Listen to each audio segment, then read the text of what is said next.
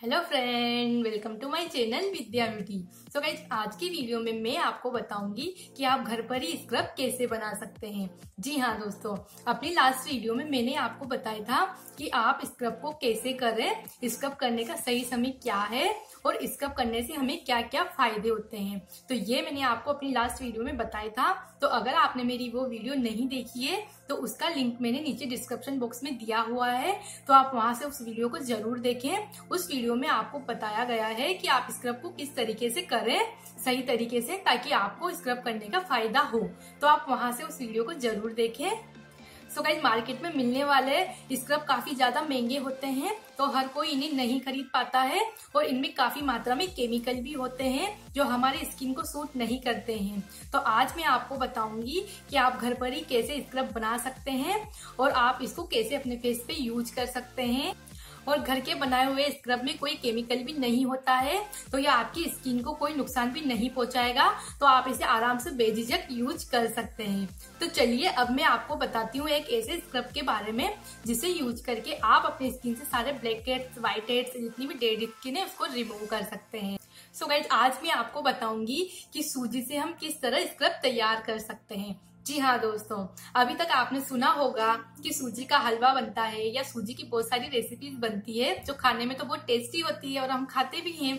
तो आज मैं आपको बताऊँगी कि सूजी खाने के साथ साथ हमारे स्किन के लिए कितनी ज़्यादा हेल्दी है।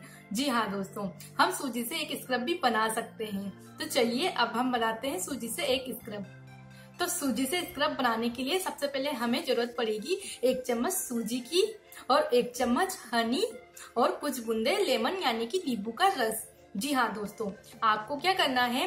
एक चम्मच सूजी लेनी है और इसके अंदर आपको ऐड करना है एक चम्मच हनी यानी कि शहद और कुछ बूंदे नींबू का रस। तो आप इन मिक्सचर्स को अच्छे से मिला लीजिए और मिलाने के बाद सबसे पहले आप अपने फेस को अच्छे से वॉश करिए।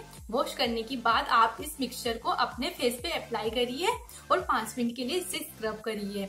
तो ये स्क्रब आपकी स्किन को क्लीन बनाएगा, आपकी स्किन को ग्लोइंग बनाएगा, आपकी स्किन से जितने भी ब्लैक हेड्स व्हाइट हेड्स है, उसको रिमूव करेगा।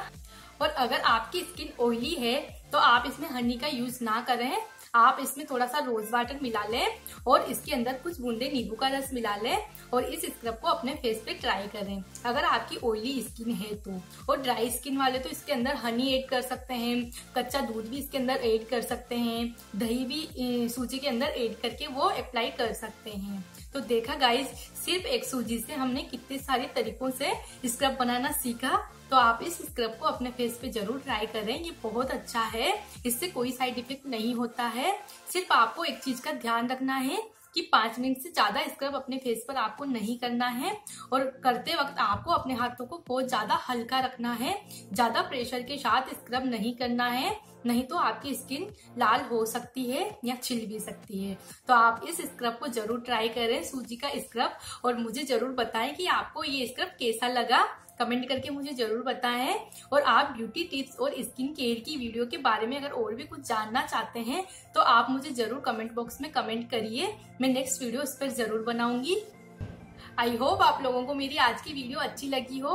अगर अच्छी लगी है तो आप मेरी वीडियो को लाइक कर दीजिए और मेरी हर वीडियो को आप अपने दोस्तों के साथ शेयर करना बिल्कुल ना भूलें। हो सकता है मेरे बताए हुए ब्यूटी टिप्स आपके दोस्तों के भी काम आ जाए। तो आप मेरी हर वीडियो को अपने दोस्तों के साथ शेयर करिए और अब मैं मिलती हूँ आपसे अपनी नेक्स्ट वीडियो में। तब तक के लिए बाय बाय राधे राधे।